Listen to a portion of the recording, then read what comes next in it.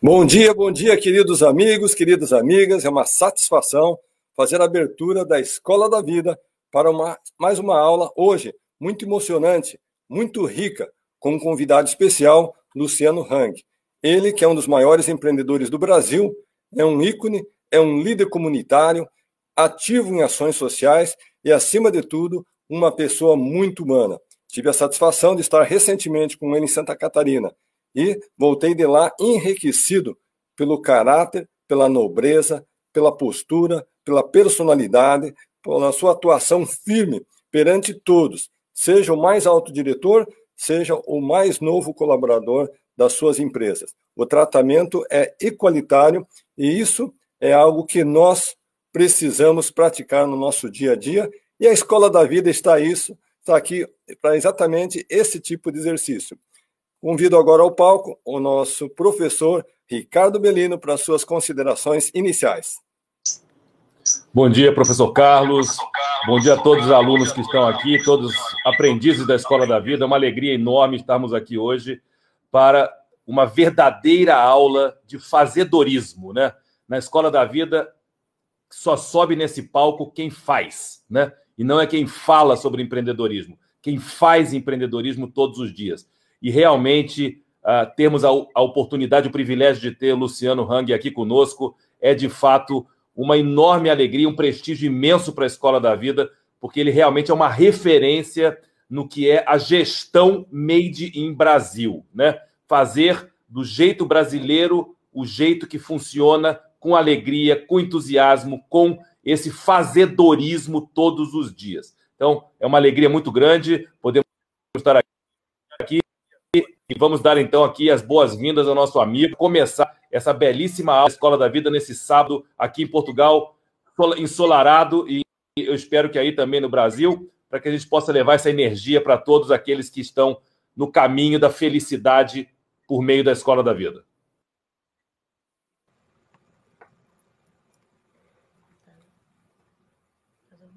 Oi, bom dia, pessoal. Bom dia, é um prazer estar aqui com o Carlos e o Ricardo. É, hoje aqui também em Santa Catarina, é, agora, claro, às sete horas da, da manhã, mas já acordei cedo, com um belo sol. É, é, muito prazer estar aqui é, para esse bate-papo. Como eu falei é, para o Carlos ainda há pouquinho, nós temos que nos acordar todo dia entusiasmado, é, com vontade de um novo dia que começa, de fazer coisas até diferentes, né? Nós temos que fazer coisas diferentes todos os dias mas é com otimismo que nós mudamos a nossa vida. Eu sou um cara feliz, um cara sempre é, achando que vai, é, que tudo, tudo é possível, desde que você faça a sua parte, né? Muitas pessoas às vezes ficam reclamando, mas sempre espera para que o outro faça aquilo que você deveria fazer. Então é um prazer estar hoje com vocês aqui para esse bate-papo e que a gente possa acrescentar algo na sua vida. Não é isso, Carlos? Exatamente, Luciano. E nós vamos fazer esse bate-papo, conforme citou o Luciano, começando a história do empreendedorismo na sua essência. Porque as pessoas às vezes me perguntam, Carlos, o indivíduo nasce empreendedor ou ele se transforma um empreendedor? Eu acredito de fato que a pessoa nasce com o dom, o talento, a habilidade, mas cabe a ele desenvolver ou não aquele dom. E nessa visita que eu fiz à sede da Avan, lá em Brusque, a questão de 15 dias, eu tive a satisfação de visitar a fábrica onde Luciano Hang começou como operário, trabalhador de chão de fábrica. Então, gostaria, Luciano, para a gente começar esse nosso encontro, esse bate-papo tão gostoso, se você puder recontar para nós aquela história de você trabalhar lá no chão da fábrica e qual que foi a sua ascensão para um outro departamento, por favor. Olha, muito importante, Carlos, né? As pessoas também fazem a mesma pergunta: se a gente nasce empreendedor? Não. Né? Meus pais, meus avós começam como operários, lá em 1910. Meus pais operários, meu pai trabalhou 42 anos numa fábrica, minha mãe 30 anos, e eu operário fui durante sete anos. Era uma fábrica que tinha próximo da minha casa, que era o que sustentava a cidade de Brusque naquele momento, eram três fábricas têxteis, né? e durante sete anos eu trabalhei nessa fábrica. Meu pai trabalhava ainda na fábrica, minha mãe também trabalhava nessa fábrica, e foi ali, é, começando na expedição, é, trabalhando muito. Eu sempre falo, eu não, eu não subo uma escada passo a passo, eu corro uma escada, sempre correndo de um lado para o outro. O meu gerente na época, eu sempre falo do nome dele, é Juliano Schumacher, é quatro anos, cinco anos mais velho do que eu, é uma, uma pessoa que eu tenho uma admiração muito grande. Um dia me chama e disse, Luciano, é, você é algo diferente aqui. Por mim, pode ficar o resto da vida comigo, mas eu acho que você merece crescer na vida. E me ofereceu, disse, Luciano, eu acho que você devia ser vendedor. Tem uma vaga lá no escritório e eu falei para a gerente lá que você é o cara, você deveria ir para lá. Você aceita? Eu disse, ah, claro que aceito. Estou mudando de vida e fui para lá. Eu acho que é muito importante, primeiro, você ter autoestima. Ainda ontem falava para o meu filho, eu tenho três filhos, é, você conheceu os três aqui, Carlos, e eu digo que desde o princípio, é, eu fui é, líder de classe, na época eu estudei numa escola básica, é, na rua João 23, perto ali da, do Poço Fundo, eu falo, porque realmente eu nasci num bairro, e fui para uma escola estadual, e aí eu fui líder de classe, eu era presidente do centro cívico, e essas coisas vão dando autoestima e dando a você, dizer que você pode, você consegue, é, e você pode ser líder. Então, você vai aprendendo com o decorrer dos anos da sua vida que você tem aptidões que você não imaginava. A partir do momento que eu passei a ser vendedor, atendia sempre os clientes, adoro pessoas, adoro pessoas, atendia muito bem os clientes, e aí um dia cheguei, eu acho que eu posso fazer uma loja para mim, que na época a Brusque começava como um polo têxtil, um polo de confecção. E em 1986, com praticamente 22 anos é, de idade, abro uma lojinha num bairro praticamente de 45 metros quadrados, contratei o meu primo para ser o meu primeiro colaborador, e aí começa a história da van. Com entusiasmo, com dedicação, é, as pessoas, quando passam a trabalhar para si, não é mais oito horas por dia, não é mais cinco, seis dias por semana, é sete dias por semana, 24 horas por dia, 365 dias por ano, pensando no teu negócio, sempre entusiasmado, sempre querendo fazer coisas diferenciadas, e você vai conquistando é, o seu espaço. Muitas pessoas perguntam para mim, Luciano, é, como é que eu começo um, alguma coisa? Eu disse, o que você quer fazer? Ah, eu quero fazer uma pizzaria. Então, você olha todas as pizzarias que você acha legal e você vai ter que fazer um, um planejamento para ser melhor do que a melhor que você conhece. É a única forma de você crescer na vida. Se você vai fazer algo igual aos outros, você vai ser mais um. Então, eu, desde o princípio, desde a primeira lojinha de 45 metros quadrados, eu tentei me diferenciar é, por produtos, por atendimento, por quantidade, é, por algo diferente que eu podia me transformar é, cada vez mais numa empresa maior é, do que o meu concorrente. E assim foi durante esses 35 anos Hoje a Van é uma empresa de 20 mil colaboradores que encanta as pessoas e as pessoas sempre perguntam, mas Luciano, para onde você quer ir ainda?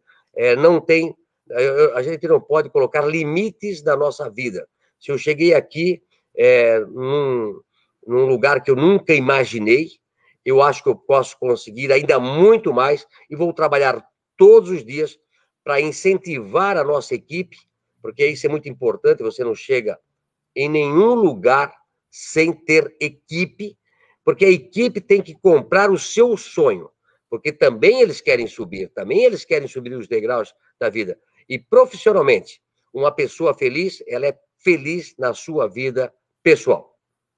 Excelente, excelente. Bom, acho que compensa nesse momento a gente fazer uma breve recapitulação dessa trajetória linda que o Luciano acaba de compartilhar. Primeiro, gente, ele ralou, literalmente ralou por sete anos, trabalhando como operário, naquela fábrica que ele falou que os seus pais, seus avós já tinham trabalhado. Bom, então aqui tem que pensar exatamente a situação que muitos que estão conosco hoje. Eu estou empregado, mas qual que é, como que é a minha atuação nessa empresa? e lá ele contou que ele era conhecido como ligeirinho, aquele que tinha pressa, aquele que queria apresentar resultados, aquele que não subia a escada, aquele que corria na escada. Então, eu faço a pergunta para você que está sintonizado hoje conosco: será que você tem essas características na sua profissão atual? Então, você tem, parabéns, está no caminho certo. Se não tem, é um momento de transformação. Segundo aspecto fundamental, de repente surgiu uma oportunidade na empresa numa outra área. Qual era a área? área de vendas. Então, faço aqui uma ponderação com todos que estão conosco. Quantas pessoas almejam, quantas pessoas desejam, quantas pessoas buscam uma oportunidade de vendas? Mas foi exatamente essa oportunidade que o Luciano abraçou. Então, às vezes, a pessoa tem aquela satisfação de dar os parabéns, bater palmas, aplaudir o sucesso de um empresário, empreendedor como o Luciano, Agora nós temos que analisar, ponderar e refletir como que nós podemos usar essas mesmas técnicas, esse mesmo caminho, para que possamos ter uma transformação na nossa vida. E daí, quando ele resolveu empreender, você pensa que ele foi no shopping, alugou uma grande loja? Não, ele começou uma portinha lá de 45 metros quadrados. Embora ele pensava grande, ele começou pequeno. E, conforme citou Luciano há pouco, sonhos não têm limites. Daquele ponto zero ele chegou até hoje, e daqui para frente o que tem? Só posso dizer, Luciano, que o seu futuro será ainda mais brilhante. É, Carlos, é, as pessoas pensam é, que todo mundo começa já de um tamanho grande, né? Eu sempre falo, comece pequeno e sonhe grande. É, outra coisa é que nós ah, sempre fizemos as coisas e tudo que nós fizemos dá certo, né? E você sabe que não é assim. Nós ralamos bastante, fizemos muitas coisas erradas, mas eu sempre me cobro do meu erro. Ah, é igual aquele aluno que, que tira nota baixa e fica acostumado com nota baixa. Eu, desde a escola, eu sempre almejei as melhores notas, sempre quis fazer o meu melhor. E na vida profissional, igual. Eu não, quando eu erro, eu fico me cobrando, cobrando, por que, que eu errei, por que, que eu errei, para acertar novamente, encontrar outro caminho.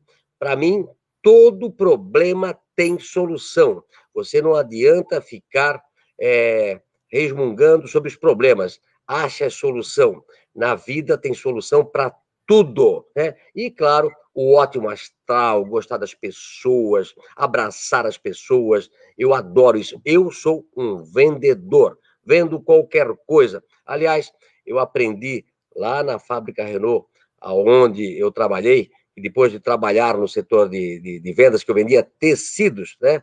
Os diretores diziam, ah, Luciano passa a vender tudo, desde a sucata, restos de algodão, é, o carro da diretoria, eu vendia de tudo, porque eu sou um vendedor gosto de pessoas, e quando você conquista o coração dos seus clientes, nem o céu é o limite.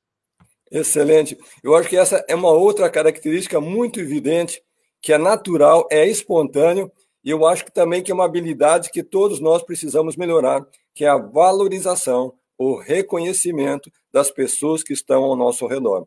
E eu tive literalmente essa experiência ao vivo, que eu recomendei, inclusive, para o Belino, ter essa experiência que eu passei. Uh, Luciano foi até Navegantes com o seu helicóptero, foi me apanhar juntamente com Charles, meu filho, nos levou até Brusque. Gente, quando nós chegamos em Brusque, na sede da empresa, parecia de fato que era um grande show de rock que estava acontecendo ali e um grande artista nacional estava descendo do helicóptero. Gente de todos os lados veio e começou a rodear o helicóptero. E eu comecei já a pensar, né? Pensamento de Avenida Paulista, São Paulo. Onde estão os seguranças? Quem são aqueles que vão proteger o Luciano? E para minha surpresa, para minha surpresa, queridos amigos, não tinha segurança nenhum. E a segunda surpresa foi que, em vez do Luciano sair do helicóptero e ir para o seu escritório, sabe no que ele foi? Ele foi para o meio do povo. E sem nenhum demérito, eu vi ali pessoas que talvez vieram da comunidade, é, com uma roupinha muito simples, criancinha no colo. E o que, que eu vi? Eu simplesmente vi o Luciano abraçando cada um deles, conversando com cada um deles, perguntando o nome, pegando a criancinha no colo, pegou o celular da pessoa, limpou aqui a câmerazinha, vamos fazer um selfie aqui, tirou selfie. Ou seja, eu pensei, bom, ele vai fazer isso uma vez e daí nós vamos entrar no escritório.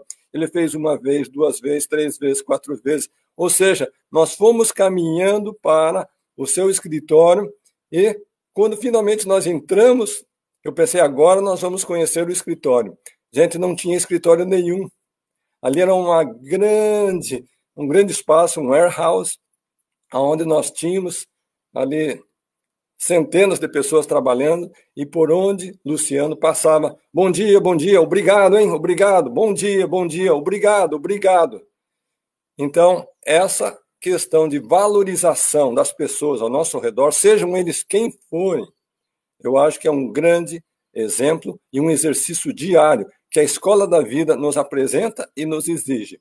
E daí, no final do dia, quando eu e Charles já estávamos praticamente retornando para São Paulo. Nós estávamos saindo da empresa e uma senhora veio interromper o Luciano. Luciano, Luciano, desculpe, mas quero ter um minutinho com você, pode ser? Ele deixou eu e Charles, foi falar com essa senhora. Ela disse: Olha, hoje é meu último dia na van. Eu estou indo embora. Eu pensei, sinceramente, que ele ia cumprimentar, desejar sucesso na empreitada da senhora e daí seguimos em frente. Luciano ficou pelo menos 10 minutos. Deixa eu entender o que aconteceu. É, teve algum problema? Você não se deu bem na empresa? Qual que era o setor? Qual era a tua função? Ou seja, a mulher já estava indo embora, a mulher já tinha se desligado da empresa. Mas, independentemente daquela circunstância, ele parou e deu o tempo necessário para valorizar aquele momento que a senhora lhe procurou. Então, Luciano, compartilha com a gente qual é a sua a visão e, ao mesmo tempo, o seu princípio de valorização da equipe. Não existe empresa sem equipe. Desde o princípio, quando eu tinha apenas um colaborador, depois, graças a Deus, a gente cresceu é, sempre muito vertiginosamente, e depois de três anos a gente já tinha uma, uma área que a gente construiu de quase 3 mil metros quadrados, eu passei a fazer reuniões com as equipes. E cheguei a ter numa loja, loja só 300 colaboradores na época. Estou falando isso lá há 30 e poucos anos atrás. Sempre nós fazíamos reuniões para motivar as pessoas.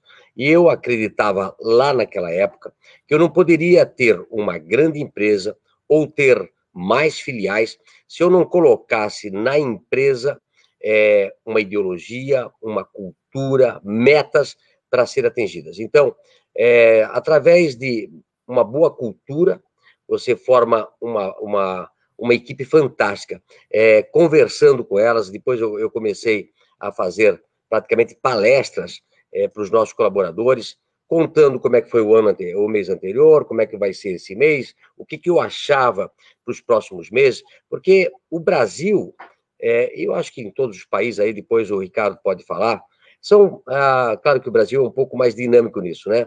Muda como se fosse o, o céu, né? O tempo, todos os dias coisas diferentes. Então, eu sempre acreditei que eu teria que montar uma equipe com cultura forte, que acreditasse na empresa, nos valores da nossa empresa. A primeira dela, humildade e simplicidade. Né? Uma empresa, uma pessoa que tem humildade e simplicidade, é aquela uma que conhece as pessoas, que chega com as pessoas, e depois é, disciplina. É, nós temos até o meu cartão aqui, é, acho que consegue mostrar dali, que vem a cultura van, né? Onde coloca aí o comprometimento, o planejamento, a disciplina, a, a equipe, organização, praticidade. Esse é um cartão meu que eu dou para as pessoas, mas é através é, do reconhecimento que uma empresa só vai crescer com uma boa equipe, que você começa a trabalhar é, essa filosofia e que a empresa vai dando certo. Né? Eu, eu, eu sempre digo que eu sou apenas mais um dos 20 mil colaboradores que fazem essa empresa ser diferente. Quando você coloca essa responsabilidade para o seu colaborador, ele se torna dono da empresa, e faz o seu melhor, porque ele sabe que fazendo o seu melhor, ele também vai subir os degraus da vida. E como eu sempre falo, quem é feliz no trabalho é feliz na sua vida. Excelente. Eu gostaria de convidar agora ao palco nosso professor Belino, porque ele defende muito esse aspecto, Luciano, de ser feliz em fazer aquilo que você faz e gerar felicidade na vida das pessoas ao seu redor. Belino. Luciano, muito obrigado aí. Enfim, meus parabéns. Eu queria contar uma coisa que eu não sei se você sabe, e é que na década de 90, na década de 80, o fundador da Sony, da grande empresa de tecnologia que foi revolucionária né, na, na, no mundo, o Akio Morita, ele foi reconhecido pelo mérito de ter um sistema de gestão né, que pautou o mundo, né? pautou a América, pautou o mundo, e escreveu um best-seller chamado Made in Japan, feito no Japão. Na década de 90, Sam Walton fez um novo, uma versão desse novo livro, por quê? Porque a sua gestão, que construiu o império né, do Walmart, do Sam's Club, foi motivo né, de referência, inspiração para gestores, não só na América, como no mundo inteiro. Então, eu queria aqui, rapidamente, em meu nome, em nome do Carlos, e como você, você não sabe, ô, ô, Luciano, Carlos e eu somos pilotos, copilotos de um avião sem plano de voo. A gente vai corrigindo na hora então, voo, nós estamos em velocidade cruzeiro, 30 mil de altitude, vamos corrigindo o plano de voo. Então, isso aqui nós não combinamos, é, uma, é agora uma, foi uma inspiração. Eu queria te fazer um convite e, ao mesmo tempo, uma homenagem, né? Para te dizer o seguinte: primeiro, que nós gostaríamos, com o selo da editora Escola da Vida, publicar o livro Made in Brasil.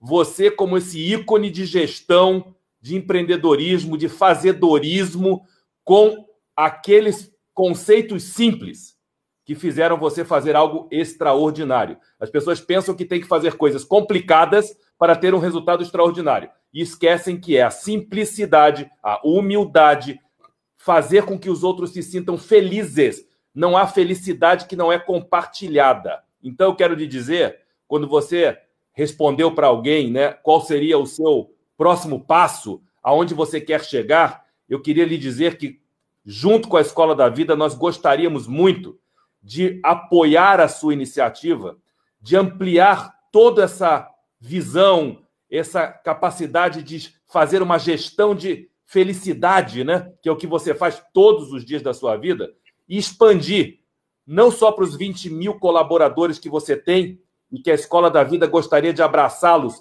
e oferecer esse conhecimento, essa oportunidade de desenvolvimento pessoal, com a sua inspiração e de outros que estão junto conosco, mas para te dizer que a sua, a sua, vamos dizer, metodologia de gestão pela felicidade, pela simplicidade, será um produto de exportação por meio de um livro, por meio da escola da vida, por meio de um curso. Hoje nós estamos em várias partes do mundo e entendemos que esses 20 mil colaboradores vão se tornar 200 mil, 2 milhões. Por que não?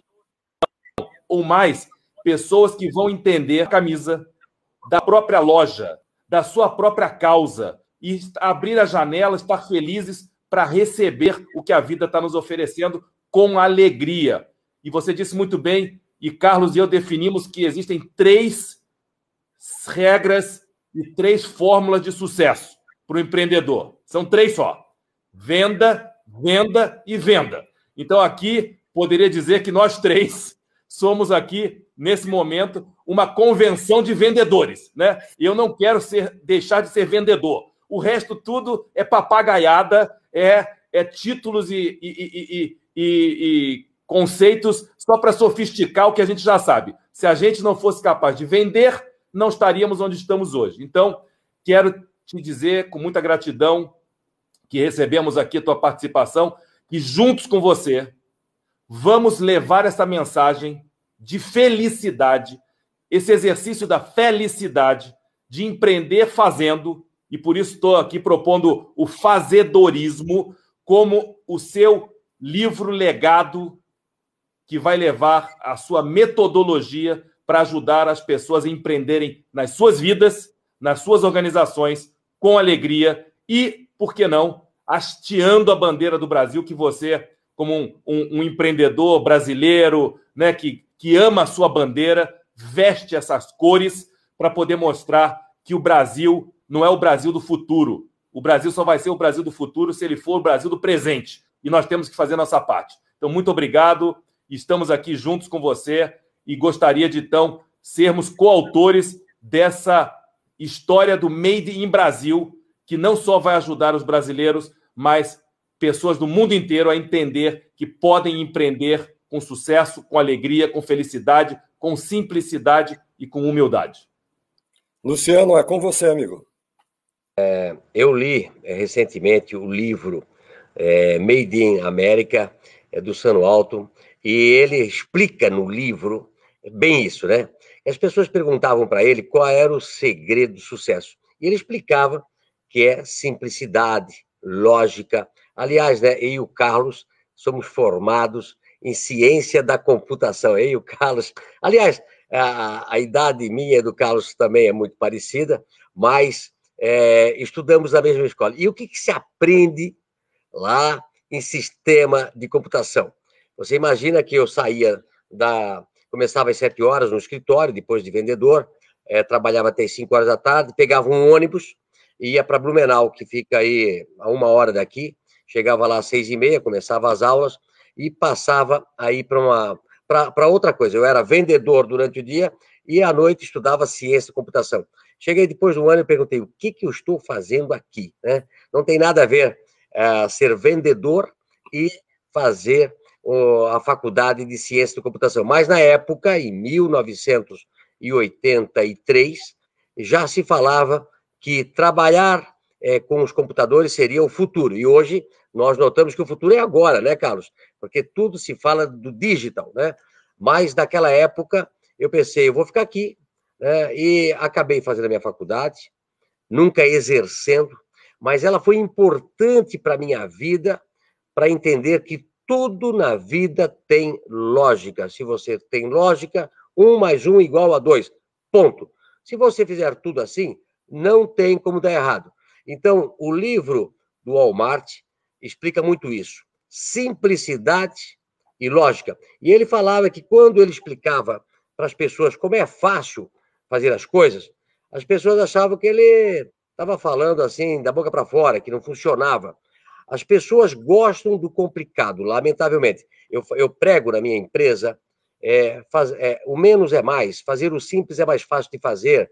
É, eu sou contra a burocratização, não é só a burocratização do governo. Eu, na minha empresa, eu odeio burocratização, porque a burocracia é, é, é uma letargia, ela demora para coisas, as coisas acontecerem. Eu, como sou muito rapidinho, eu quero tudo rápido. E tudo rápido é simples, né? O, é fazer o, o menos é mais, é, é fazer as coisas descomplicadas.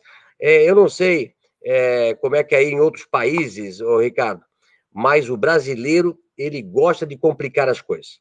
É, e nós temos que poder passar essa mensagem para as pessoas.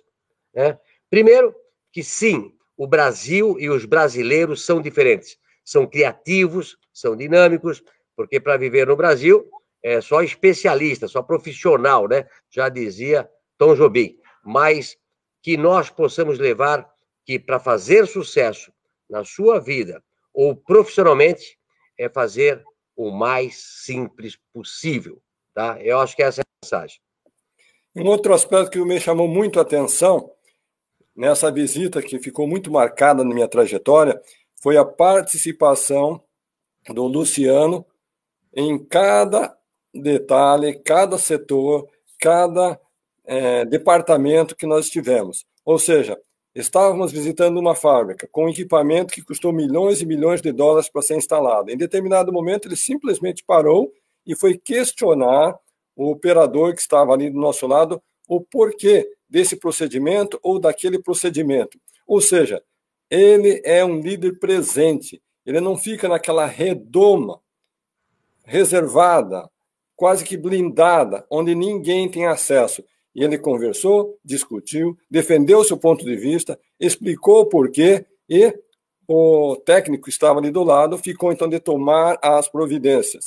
E um outro aspecto que eu também fiquei assim encantado, Luciano, nós estávamos no almoço, estava ali Débora, estava ali Ana Maria, estava ali Aline, que cuida de toda a assessoria de imprensa da equipe do Luciano. Gente, e ele estava preocupado com o detalhe da cor, o tipo da fonte, a imagem, ou seja, de fato uma pessoa que está envolvida. E, finalmente, é, na parte da tarde, quando nós fomos, então, conhecer o escritório do Luciano. E claro que eu e Charles estavam muito curiosos para conhecer. Gente, eu vi ali um espaço aberto, eu não sei dizer, o Luciano vai contar para nós. Quantos colaboradores tem naquele espaço? Não tinha uma única parede, não tinha uma única porta, não tinha nenhuma divisória, era um espaço aberto. E quem que estava ali no centro daquele espaço aberto? Luciano. Ou seja, qualquer pessoa poderia chegar até sua mesa, conversar, dialogar, perguntar, sugerir, e ele estava ali de portas abertas para todos. Relata para nós essa experiência, Luciano, de você trabalhar num espaço aberto, por favor. Olha, Carlos, é, você realmente é, veio fazer uma visita e conseguiu captar cada, cada coisa que acontece na minha vida, né?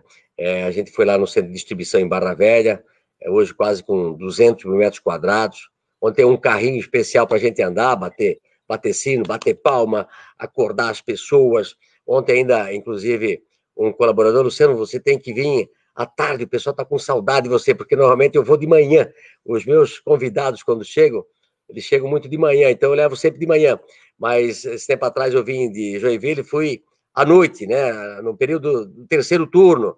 Então, é, a máquina que você falou, é que a gente discutia lá, é uma máquina de 100 milhões de reais, uma máquina alemã, e realmente eu estava discutindo com, com as pessoas que estavam montando que o meu ponto de vista para uma porta que existia lá devia ser diferente. Né? Eu acho que essas coisas de você estar presente, é, de você dar ideia, eu sou muito detalhista, é, não sou aquele chatinho de, de que, que, as coisas não andam porque eu não olhei, né? pelo contrário, né? eu deixo as coisas funcionar, dou o briefing, mais ou menos, do que, o caminho que eu acho que tem que ser, as pessoas fazem, e aí, de vez em quando, eu me meto aqui, ali, ali, ali, né? Mas eu, quando. É, eu, eu, sou muito marqueteiro, então, ah, na, na, parte gráfica, na parte propaganda, eu gosto de dar minhas opiniões. E o escritório é onde eu estou agora, né? É, é 15 mil metros quadrados, era um shopping antes, a gente abriu todo o shopping, é, vocês notam atrás de mim aí, né? Ela, ele tem praticamente só uma coluna no, no, centro, as salas de reuniões são no centro, todas de vidro.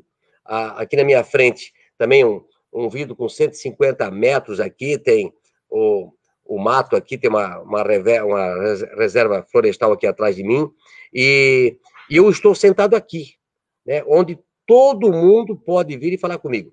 Quando você vai para uma sala e se fecha naquela sala, normalmente um presidente, um diretor, né?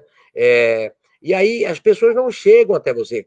É, assim, qualquer um pode passar aqui, dizer bom dia, olhar, os problemas é, pode, pode chegar a mim, né? Se não, eu, eu, eu, eu compactuo que a empresa do bem é aquela empresa que não tem lugar para o estacionamento do diretor ou do presidente, como é o nosso caso, né? Cada um estaciona no lugar que encontrar, não tem área reservada. Aqui dentro não tem salas. Eu sempre brinco que se for esconder aqui no escritório, tem que ir para o banheiro. O único lugar que tem uma sala, alguma coisa fechada, o resto é tudo aberto.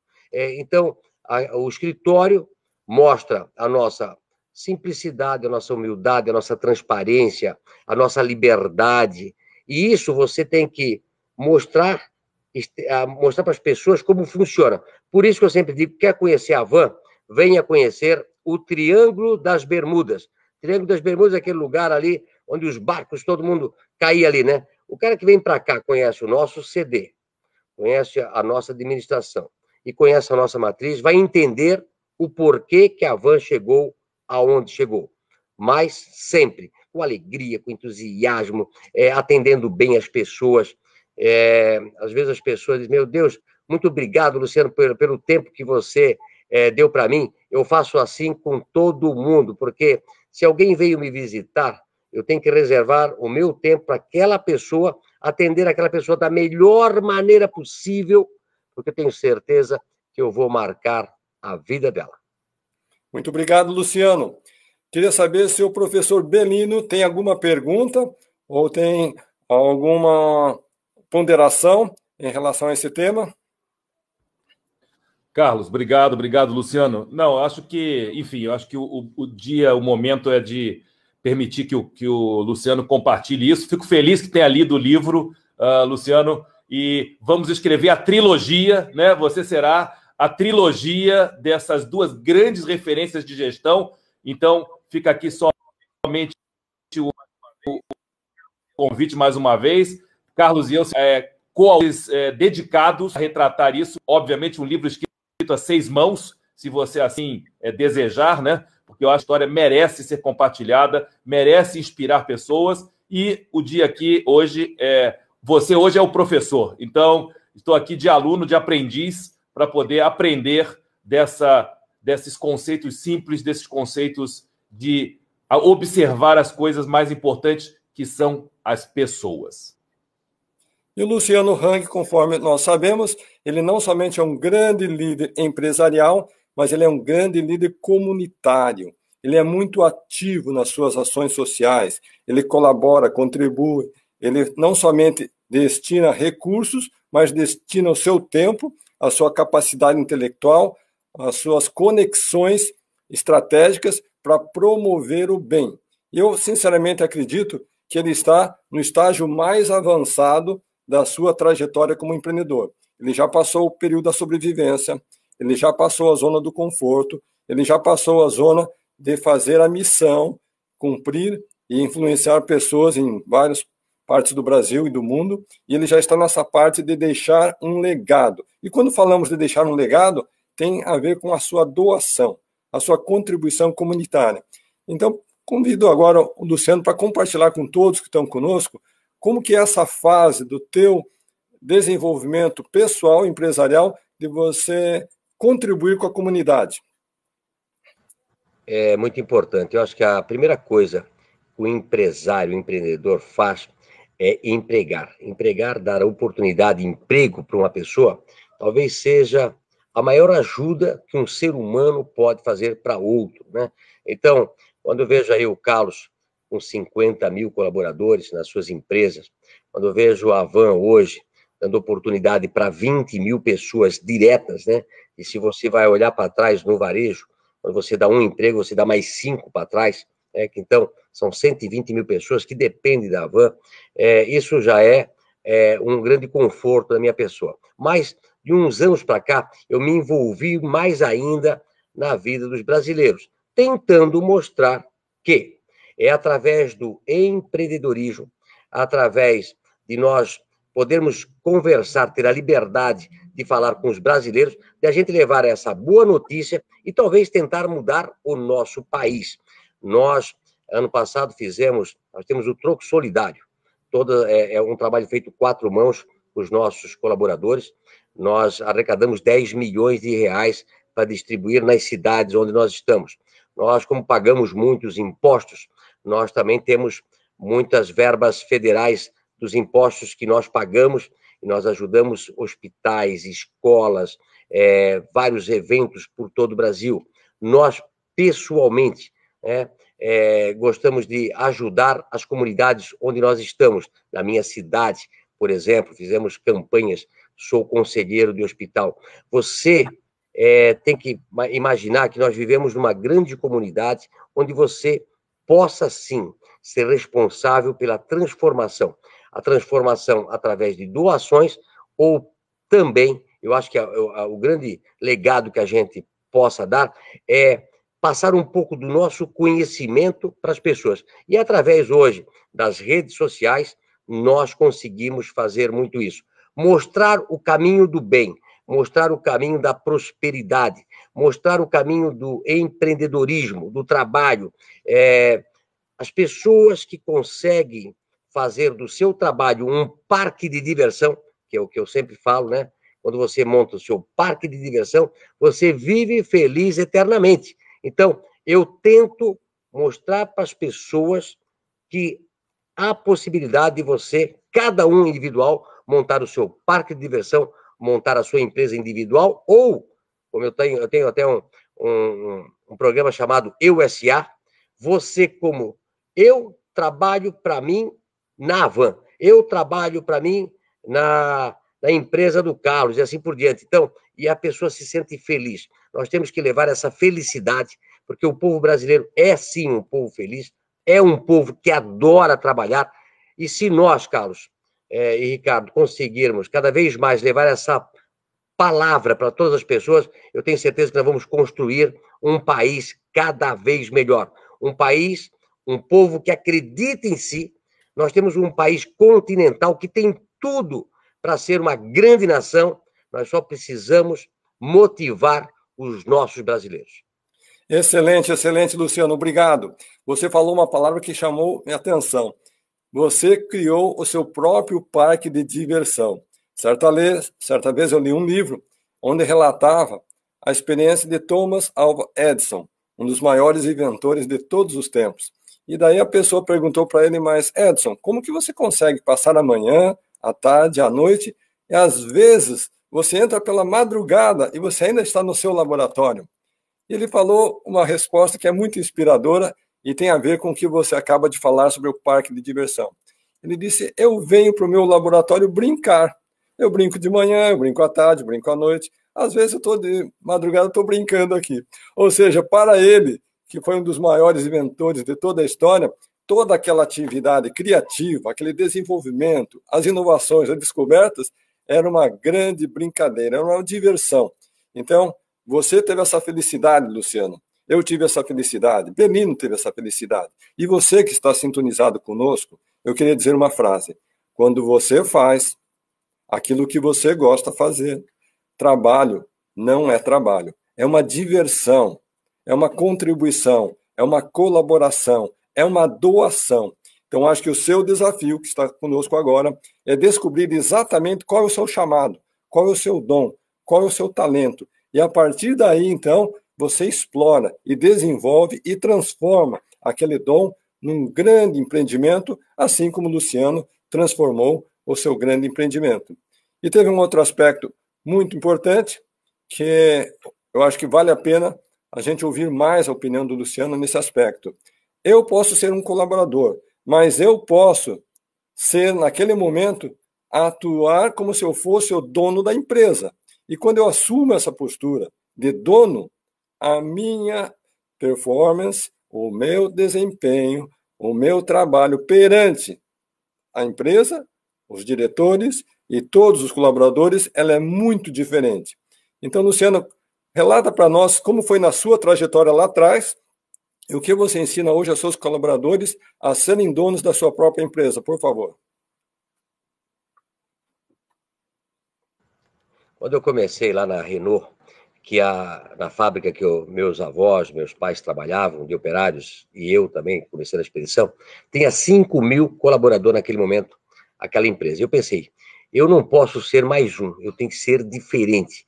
Como é que eu vou é, me diferenciar nesse grupo tão grande de pessoas e que eu gostaria de mudar de patamar de vida, né? Morava numa casa de madeira, é, uma casa de 7 por 6, é, é ia de trabalhar de bicicleta, e eu pensei, poxa, eu tenho que mudar essa dinâmica até da minha família, né? É, me lembro dos meus avós ainda, maternos trabalhavam na fábrica, e o meu paterno é, trabalhava numa, numa igreja, né?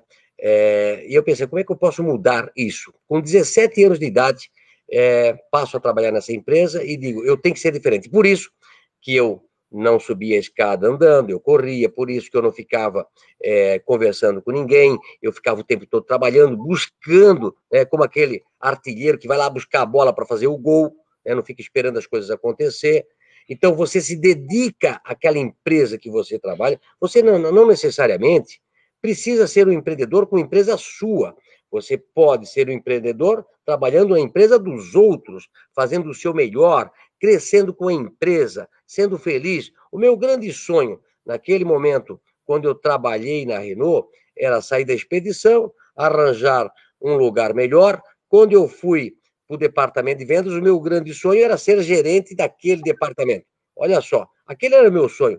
Para mim, se eu chegasse a ser gerente de vendas da fábrica Renault, para mim era era era o supra-sumo, era, era o que eu almejava na minha vida. Nunca pensei em ter uma empresa, mas as coisas vão acontecendo na sua vida e você tem que aproveitar as oportunidades. Passou um cavalo, sobe em cima. Passou outro, sobe em cima. Né? É, sempre tem oportunidades. Oportunidades aparecem todo dia. É você que escolhe. Uma coisa importante na sua vida é ter coragem. Aliás, essa é a palavra é, do dia de hoje, né? Eu coloquei lá uma mensagem do Aristóteles, né? É, onde ele fala que a coragem é a principal coisa da sua vida. Se você tem coragem, as outras coisas são possíveis. Sem a coragem, não adianta você ser inteligente, é, sem a coragem não adianta você ter uma boa ideia, sem a coragem não adianta você estar no lugar certo, na hora certa. Né? Se você, sem a coragem, nada vai para frente. Então, é, com coragem e determinação, você transforma a sua vida e a vida dos outros numa vida muito melhor. Excelente, Luciano. Uma pergunta que o pessoal está fazendo para você é o seguinte: nós vivemos num país inundado de más notícias. Qualquer site, qualquer jornal, qualquer revista, qualquer noticiário, as notícias são, na sua grande maioria, negativas. Você, Luciano Hang, como você faz para ser um eterno otimista, ser uma pessoa positiva, você transmitir entusiasmo para as pessoas? Qual que é a tua fonte de energia? E se você puder compartilhar conosco a sua sugestão, por favor. Olha, é simples.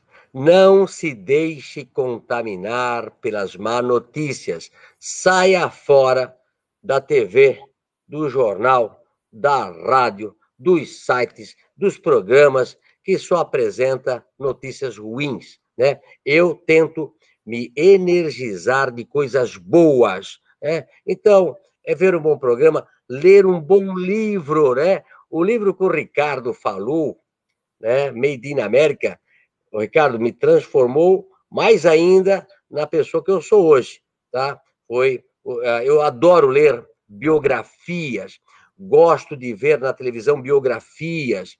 É, eu, eu, adorei a série é, de grandes empresários americanos. Eu li agora recentemente um livro chamado Os Magnatas, os quatro principais é, empreendedores americanos que transformaram o país, os Estados Unidos. Então, eu consumo coisa boa, é como na saúde da gente.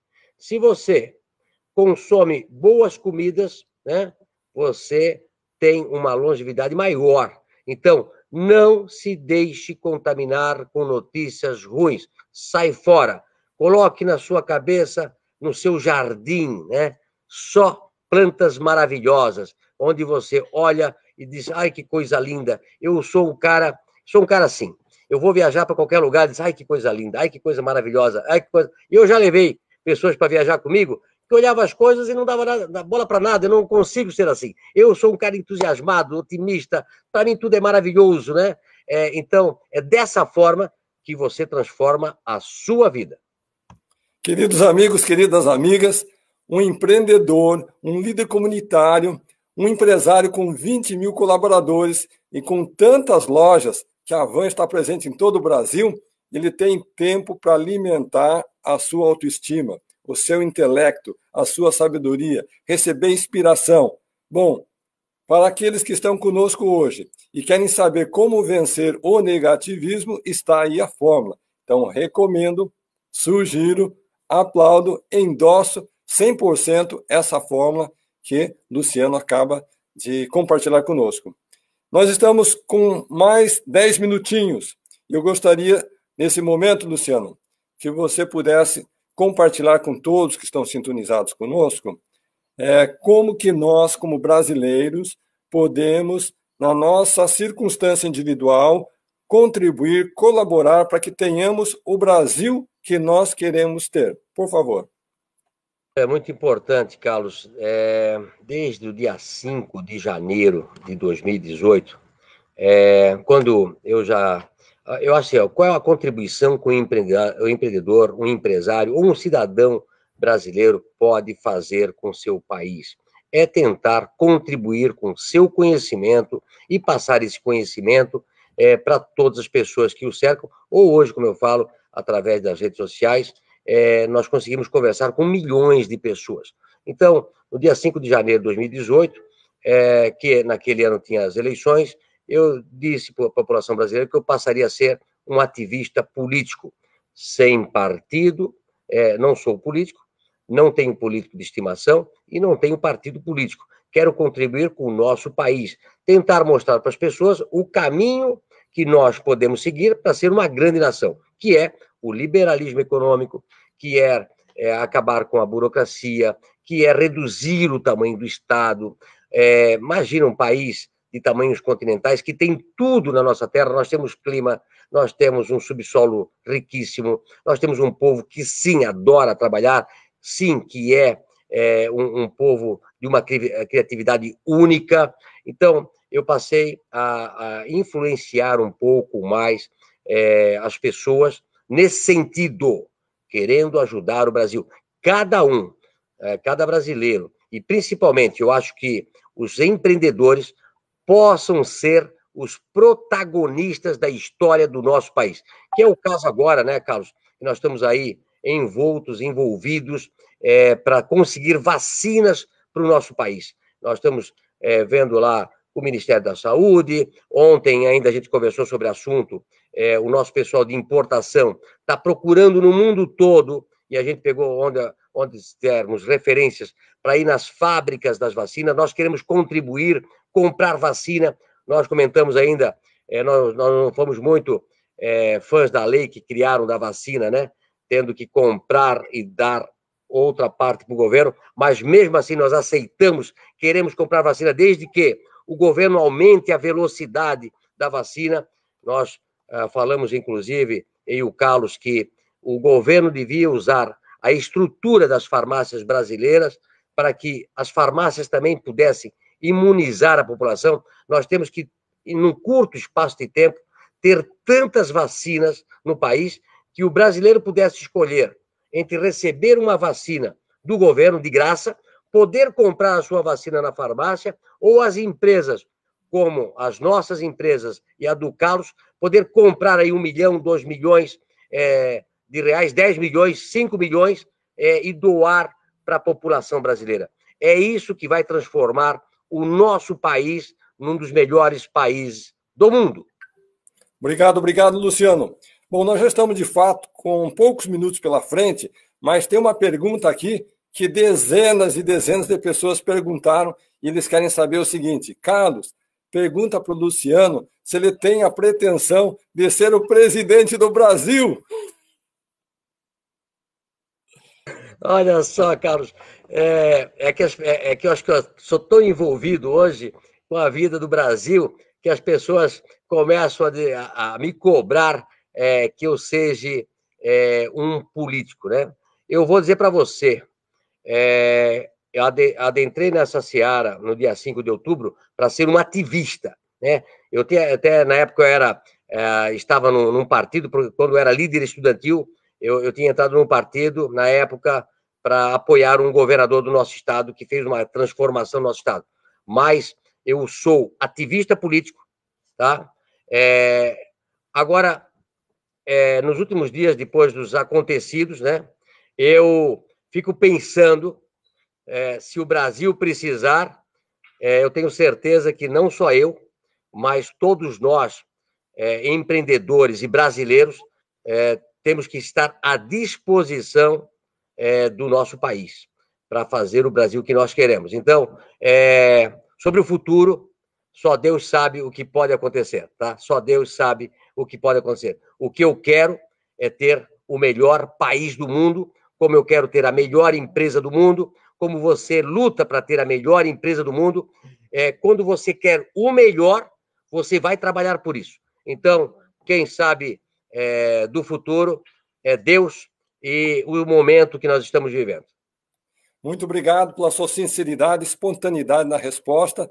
E nós temos, de fato, essa admiração, esse carinho, esse respeito por você, por sua trajetória, por suas empresas, seus colaboradores, e nós sabemos da importância, da credibilidade que o povo brasileiro tem por você, Luciano. Bom, gente, nós temos mais cinco minutos. Gostaria de convidar o professor Belino para suas considerações finais, por gentileza. Obrigado, Carlos. Obrigado, Luciano. Olha, queria te dizer o seguinte: você acabou de nos fazer mais uma provocação, então quero te dizer que você quer construir a melhor empresa do mundo e nós a melhor e maior escola do mundo. E você está convidado para ser um mestre, né? um mentor dessa escola permanente. Você vai ter um espaço permanente na no nossa escola, um espaço de páginas amarelas e letras verdes de esperança. Então, que o seu ensinamento possa estar registrado com a tinta verde dessa esperança, dessa alegria, desse empreendedorismo, porque todos nós aqui somos vendedores. Isso não é um problema, isso é virtude. O meu amigo Donald Trump sempre dizia: meu querido Belino, se você não promover você mesmo, meu amigo, ninguém fará por você, querido. Então faça você o seu próprio marketing. Então quero te dizer, Luciano, parabéns e quero dizer que a sua cartilha que vai estar publicada nas prateleiras da Escola da Vida e à disposição de milhares, centenas de milhares ou milhões de pessoas, é uma inspiração para que nós possamos criar a maior rede de empreendedorismo do mundo chamada Eu SA. Então, essa rede de franquias Eu SA, com a sua inspiração, com a, a visão empresarial do Carlos, que criou a maior rede de idiomas do mundo.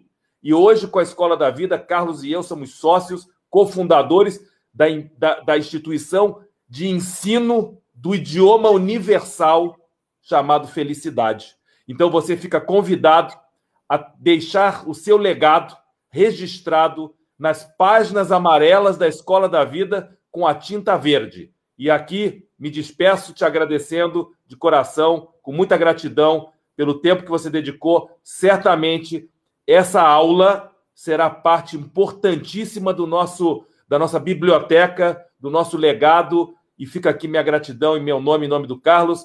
Que você tenha um dia maravilhoso e quando estiver no Brasil, vou aí fazer uma visita, vou aí almoçar com você, faço questão. Tenho grandes amigos aí na região. Tive uma história maravilhosa com a família Hering quando fiz a campanha do câncer de mama. Camiseta é algo que está na minha vida e eu acho que a gente tem que continuar nesse legado para promover pelo empreendedorismo social a transformação das pessoas. Carlos.